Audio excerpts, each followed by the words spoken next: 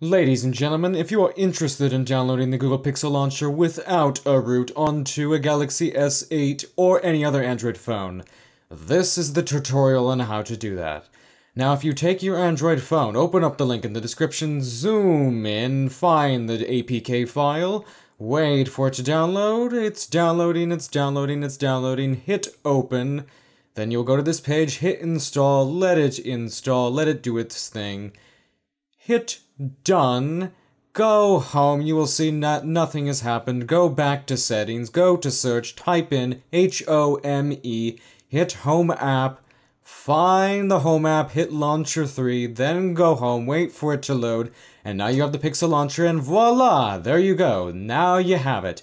And another example would be the Galaxy S8. Type in H O M E, find home screen, hit launcher 3, I'm trying to show you, but I don't know where it is, and then I find it, I go back home, and voila!